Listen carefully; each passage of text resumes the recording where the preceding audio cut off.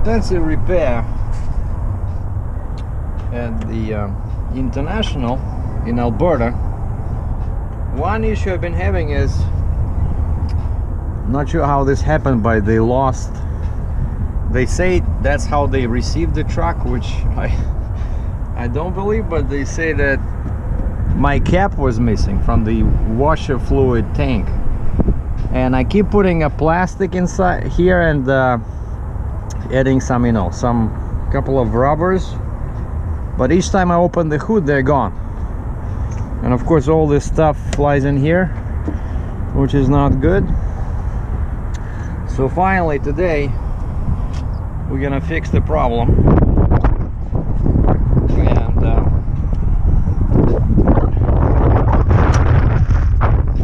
I called uh, Kenworth dealer and after five minutes checking the info under my VIN number.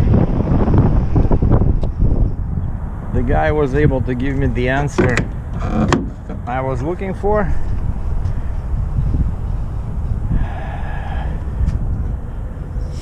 And so now we're gonna be driving. We're going for a drive. Finally I have something to do because these past couple of days I was just fooling around and specifically today is Tuesday. Uh, it's the first day after the uh, holiday because Monday was uh, Victoria Day in Canada so everything was closed. See like this whole plaza was empty because Walmart was closed. And of course Staples and Best Buy were closed but now they open but you see uh, like there's a guy walking towards it but there's a big bar in the front basic kind of like stop sign. And the same at the Best Buy so we have to oh the guy goes in there. But I think somebody's uh, meeting them. Meeting you cannot just walk you cannot just waltz right in. You have to uh, stop there and tell them your business and I think they will go and get you the, the part that you uh, ordered um, and yeah basically over the weekend I just drove back empty. Saturday Sunday I drove back and crossed the border. Because there's no point sitting in you know in the states only 500 miles away.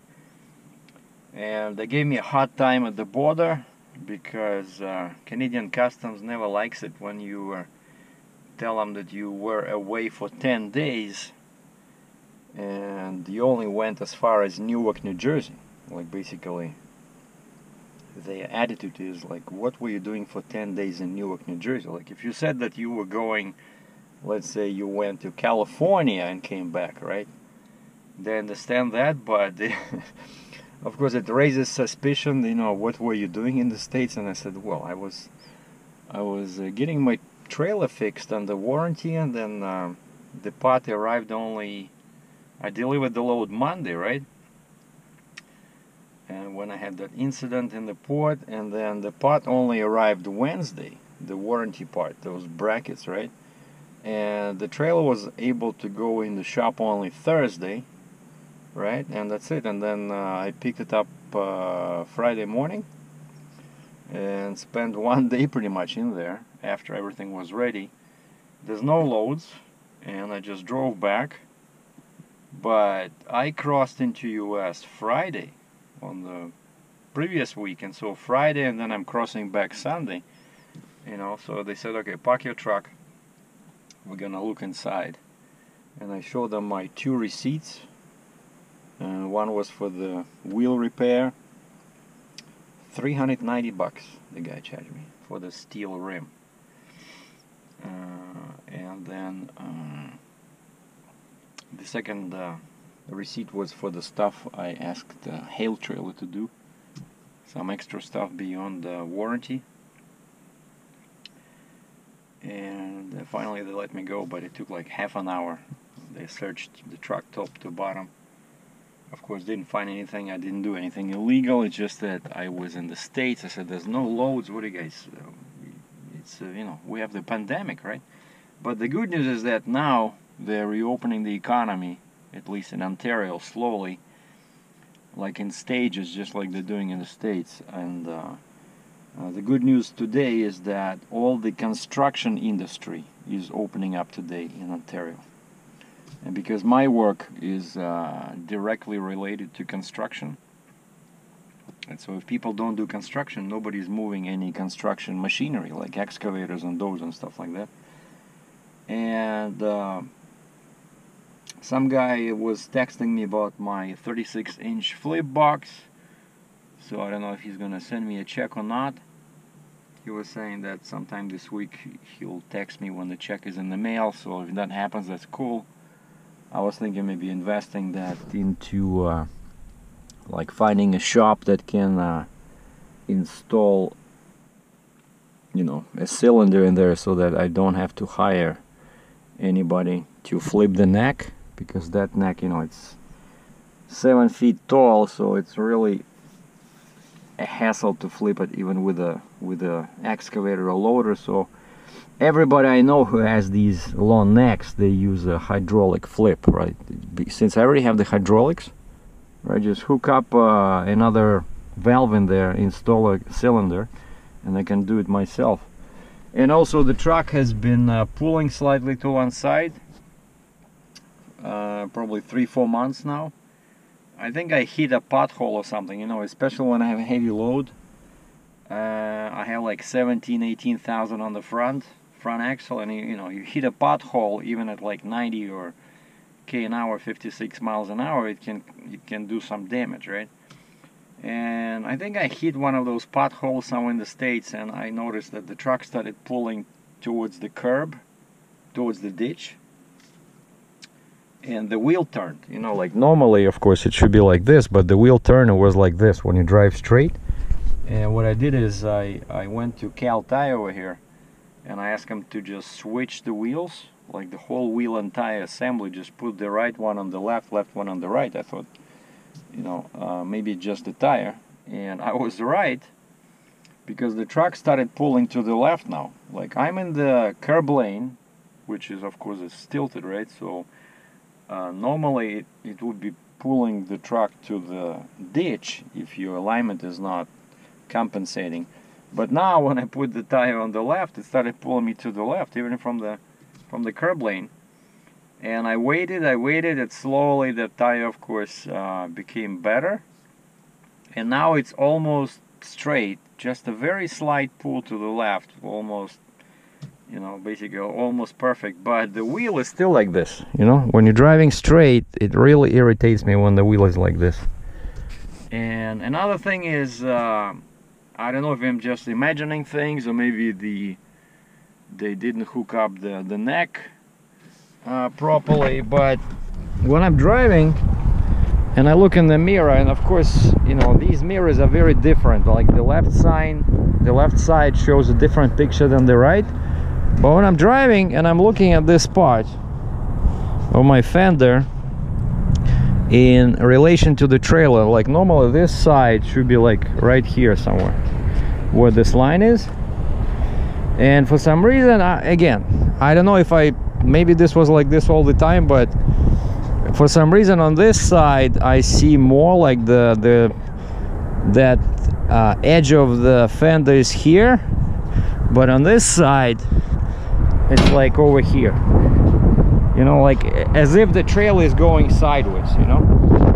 Then I was looking here and you can see slightly like the way the neck is connected like here is pretty much touching this weld right? Just over a couple of millimeters over this weld but here it's this way. So I think it's the neck. I think when they connected the neck because I have this long neck extension when I left the trailer at the Hale Trailer the way they connected it's probably not not exactly equal. Like you see this part over there and this part over there. Yeah. Oh okay. I can see that like this part this edge. You see like this edge? Let's say five millimeters here right away from the edge of this. You see this? The top like half of my fingernail. But on this side you see it's it's much closer. So the neck is uh, like that side. So I think that's what happened. So no big deal. So I thought and you see here it's almost touching but not touching and here it's bigger. The gap is bigger. So yeah that's what happening. But so I was afraid that maybe you know my trailer is out of alignment because uh, the guy hit me in this axle. But I think it's fine. Just you know once I flip the box I can attach the neck properly. Well it's attached properly just it's a bit off to one side and uh, and here it's not exactly equal either. So but now that I know how to use it I feel confident with this. So that's my setup for running empty. It still needs these two shims. And over here I'm on one two three four five six and then it's fine. It's not trying to oversteer the trailer. But when I'm loaded I'm putting one more of these big ones and then I'm gonna put a small one like one fourth or one eighth of an inch. And then of course increase it here. And, uh, we should be good. Okay let's go for the for the errand. Get our cap because yeah I'm really tired of driving like this without that thing you know keeps spilling inside the engine compartment. Not good you know?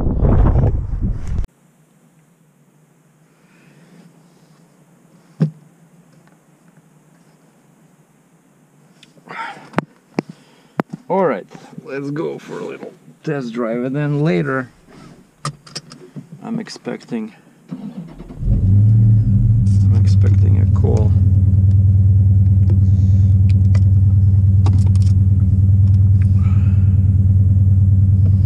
from Steve the guy with the crane well I don't think we're gonna do anything with the crane today but I asked him to uh, move that uh, flip box right? Because I picked it up uh, last week uh, from JC trailer. And I when I brought it down I thought I could drag it. I thought I could drag it towards the uh, towards the rear In 200 meters, use the right lane to turn slightly right onto Waterloo Regional Road 24. but all I managed to do Use the was right lane to turn slightly right onto Waterloo Regional Road 24. Then use the right lane to take the Ontario 401 West ramp. So all I managed to do was uh, drag it off the trailer. That thing is so heavy, you know, that uh, 36 inch flip box that I'm trying to sell now. It's, uh, they were telling me, Fontaine told me when I was picking this up, right? They told me it was, uh, it was uh, 550 pounds they were not joking. Because when I dragged it off the trailer but once it fell down that's it. I could not move it. I just barely moved it and of course it has a kingpin underneath right? And so that kingpin without the kingpin maybe I could have moved it a couple of feet but with the kingpin sticking into the ground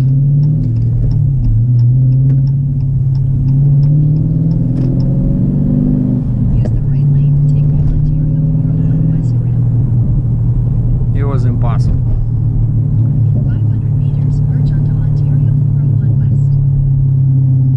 And so I asked Steve, I said, you know, I know you have a small forklift. I have a skid in there. So I'm gonna give you the skid. Can you just load this thing on the skid and just put it in the back so it doesn't take space? Uh, because I, I still have one spot.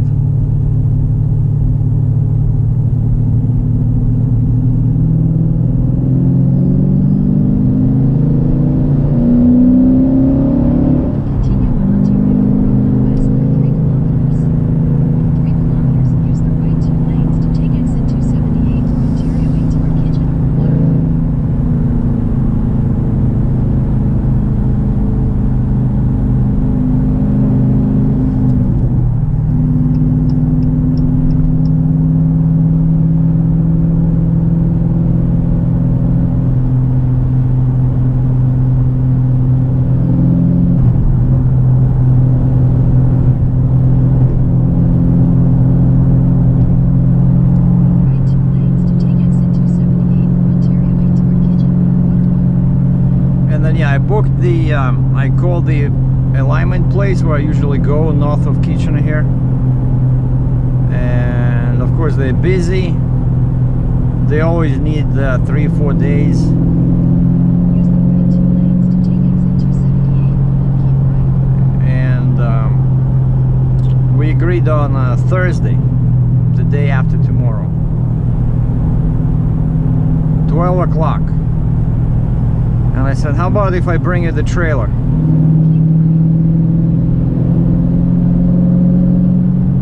He says, well, if you want to bring the trailer, then he says, it's, so let's do it Friday, 8 o'clock in the morning. And I said, no, no, no, no. Uh, I can wait till Thursday, but I need to find a load. So uh, I said, I'll do the trailer. east, Maple Grove Road I'll do the trailer later.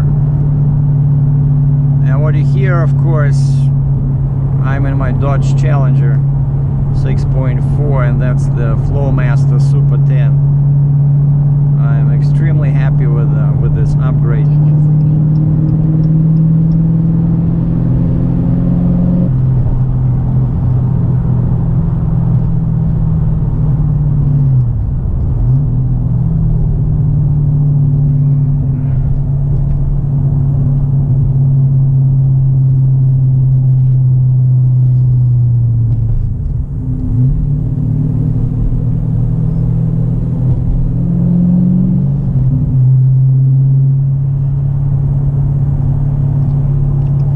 That's what Google Maps was saying that uh, this cherry blossom is closed.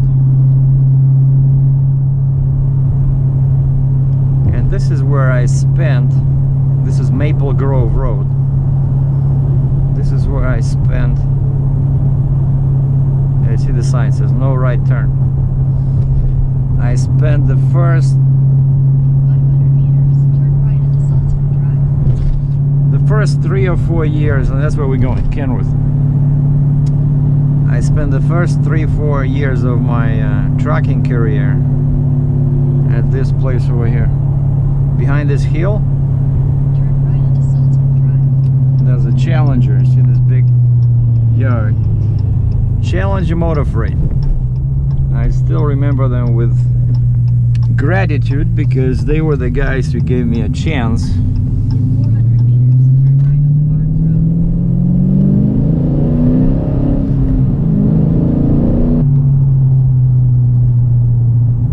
Road. They gave me a chance when I was a rookie driver with no experience.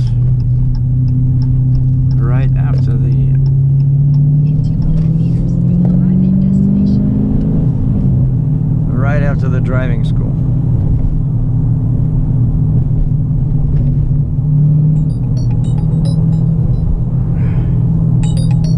The reality of uh, COVID 19. I come to Kenworth, right? and there's signs everywhere stop, stop, do not enter the building under any circumstances. And basically, they're telling you to call. And the guy even didn't tell me. When I called on the phone, the guy says, Yeah, we have 10 of them. I said, Okay, I'm going to stop by, I said, in the next hour and pick them up. And the guy says, Okay. And he never told me about this. So now the service entrance, there's a s- you know stop sign. There's a parts entrance stop sign, and you call them on the phone, and uh, the guy came out, no mask, no gloves, standing two feet away from me. Like, what's the point? Like, why cannot go inside the building? So you still come out and you talk to me. How are you gonna pay? I said I'll pay with a, you know, debit tap. And uh, he grabbed some. He grabbed two of the caps, but they're black. I don't know if they're the proper ones. And I said, "Can you please verify?" So I gave him my. Uh, gave him my uh, last uh, seven digits of the VIN number, and he went back to verify that these are the proper ones. And uh, also, I said, if you have this, please check if you have uh, those uh, packs, you know, grease packs for the fifth wheel. Because they're, they're pretty expensive at, uh, at uh, truck stops. But what I do is I drop uh, I drop the suspension on the truck and then I raise the trailer a little, little bit and then I can see a gap uh, you know above the fifth wheel and I can just push these bags in there and reinflate suspension. Because you know the fifth wheel grease helps with the steering and uh, wear and tear you know it's very important. So uh dollar fifty each three dollars plus 39 cents tax 339 Canadian so I got two in case I lose one again. Alright let's go back and do the install. No instructions were supplied for the installation so it might take us a while. Now this is uh, of course business expense. So it's all tax deductible. And government of Canada will pay me back 39 cents. I paid for the sales tax. So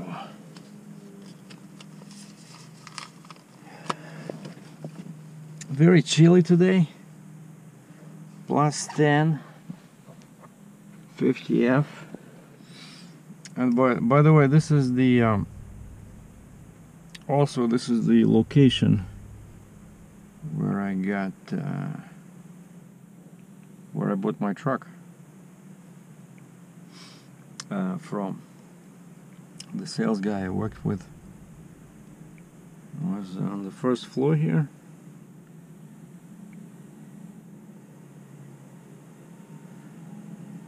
and then he got promoted to the he went to the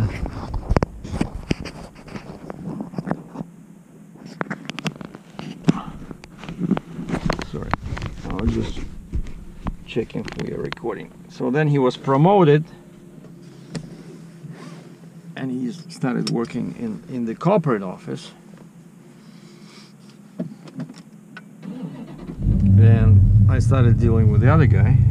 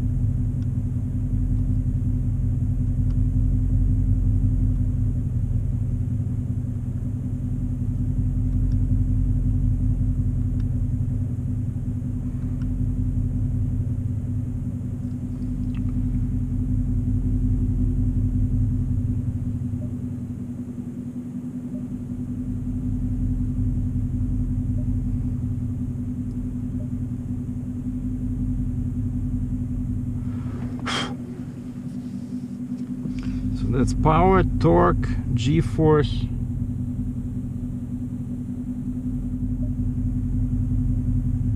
Uh, Oil temperature, coolant temperature.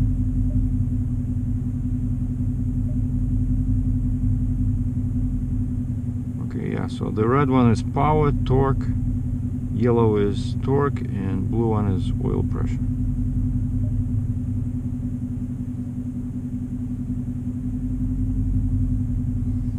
Maybe I'll leave it on this one. The- this one shows power and torque only.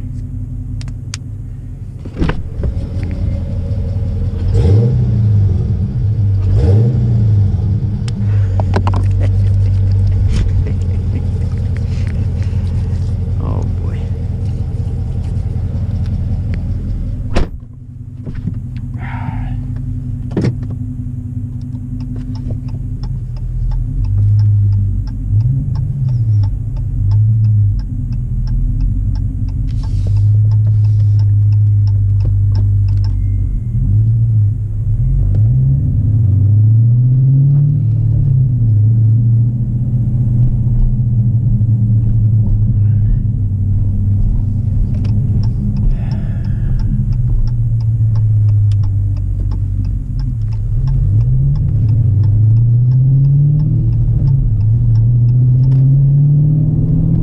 In 200 meters, turn left onto Saltzman Drive.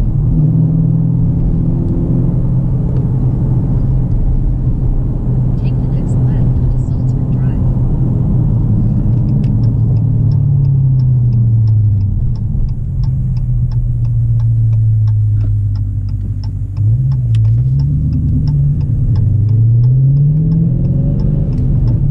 In 400 meters, turn left onto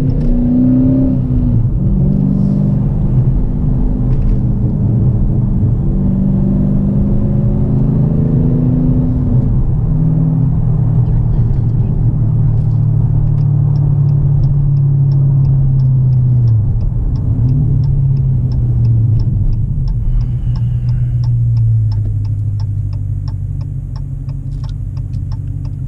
So that's the entrance to a Challenger. I use that gate many times.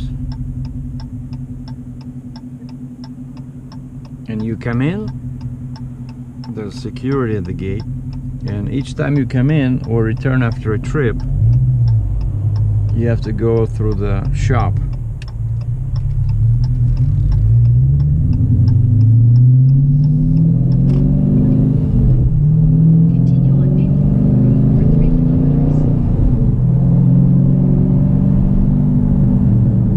Through a shop, and so they inspect everything after each trip, even though it's a local trip. And they have fuel pumps right there, so you can get fuel.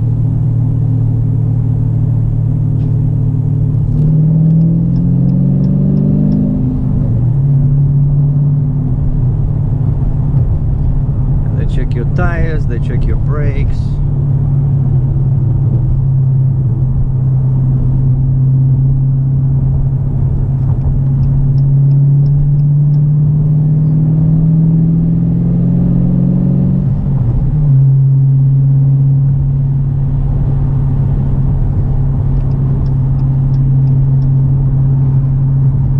it was a good company to work for. Like brand new building, you know, that office building, and uh, we had a bunch of dispatchers. Like each dispatcher or uh, fleet manager, or what they call them, driver manager. Driver manager had I forgot, ten drivers, fifteen drivers.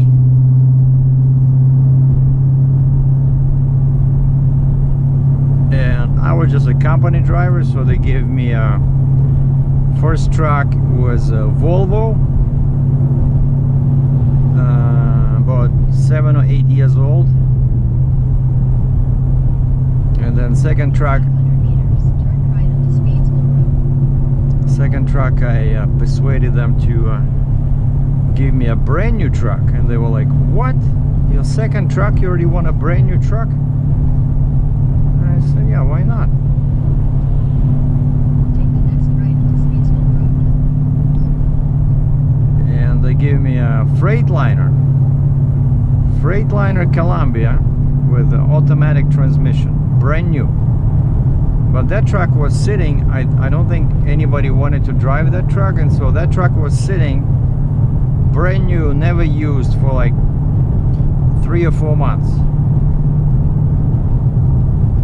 And when I picked it up, it had all kinds of problems. The first one being the um, air suspension. That crazy truck had air suspension on the front axle. And the truck was sitting like this, you know, crooked. Like the left side was lower than the right side. and I'm like, what is this? They had to send it to the Freightliner dealer. Um, so some, something was leaking somewhere.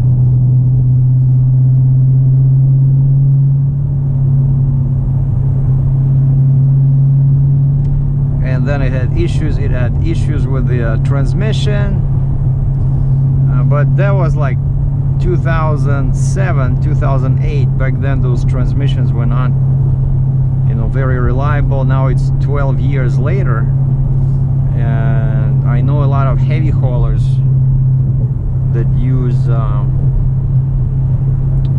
Eaton 18 speed uh, aut- automated transmission automatic transmission and they work fine. But back then, I remember with the 40,000 pounds in the inside the drive and trailer, I could not back.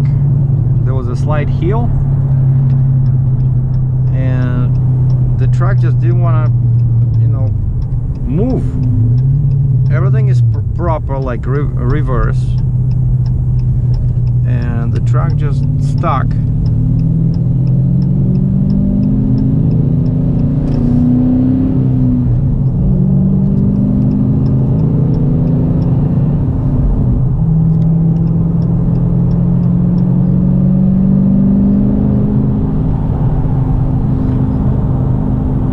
And I remember the guys were dock waiting for me like what's he doing you know?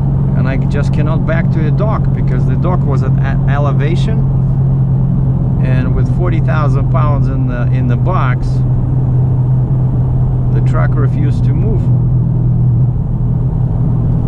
And i had to come out. I said guys i'm sorry. I said i'm sorry it's taking me so long but i said i said it's a freightliner with the automatic transmission so basically what do you want and they all started laughing. Oh, Freightliner. Okay. Oh, automatic transmission.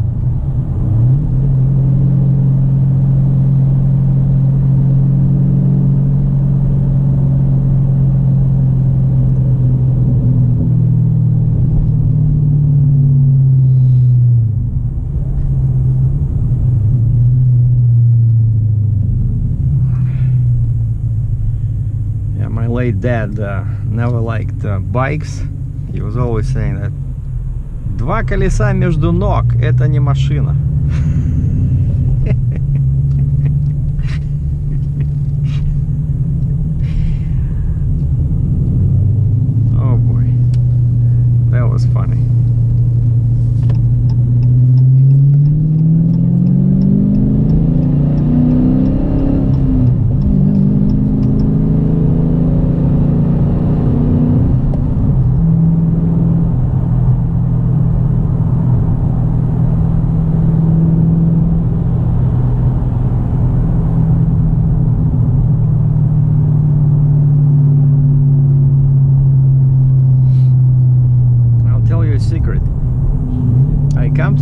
Intersection. I I always look at that red light because it has a special um, public transit signal.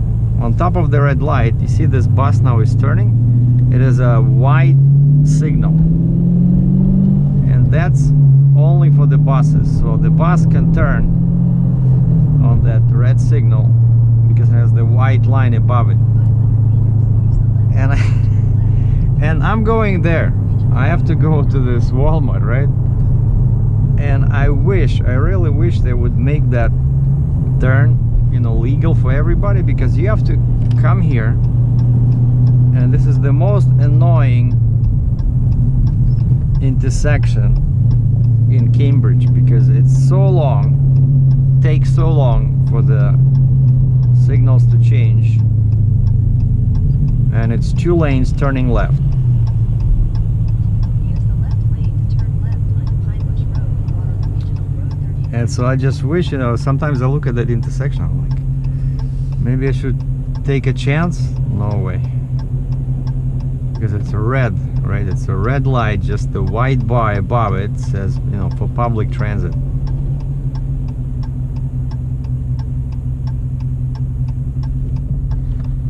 And okay now we have flashing left left signal. And of course we're not gonna make it oh we made it all right In 200 meters, use the left two lanes to turn left.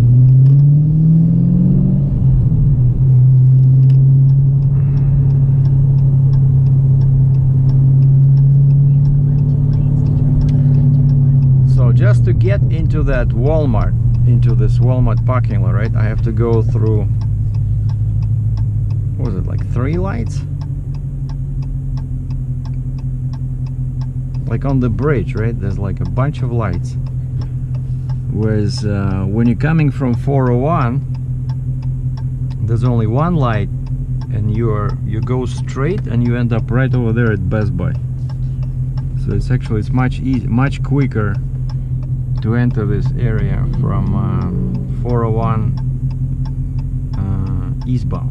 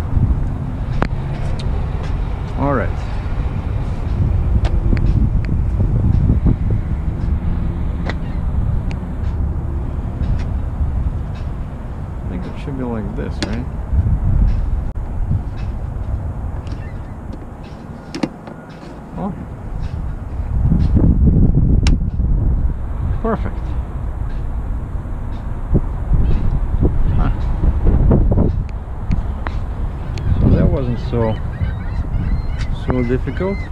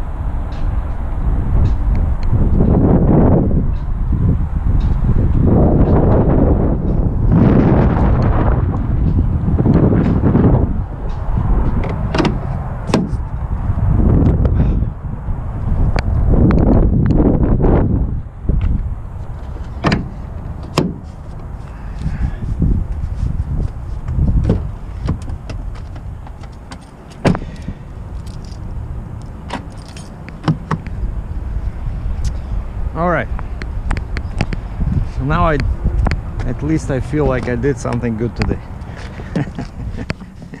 we'll do, we'll do another video if I, uh, I don't know when uh, the crane guy is gonna call me. Probably after lunch. Oh, but I do see there's actually lots of people walking in and out out of Staples, so it doesn't look like it's the same system as before where you had to wait in line and then each person had to talk to somebody. So maybe they did open up. What about Walmart? Usually there's like a line up there outside of the store. Yeah, there still is. People are waiting to get in line because they only allow so many people inside the store. And ever since I came back, I have not been inside that Walmart in two or three weeks because it's such a crazy system. Because I can go across the freeway and there's a big grocery store, Zehrs, and there's no lineup in there. Because Walmart, of course, a lot of people are not going there to buy food, they're going there to buy, you know, clothes, electronics, all kinds of supplies. I don't need that anyway so that was a quick update. So yeah so everything is fine. I'm back in Canada as you can see and just uh, waiting for the alignment. And uh, meanwhile we'll be looking for the load. And hopefully the economy is uh, is uh, gonna restart and construction is open as today in, in Ontario. So I feel optimistic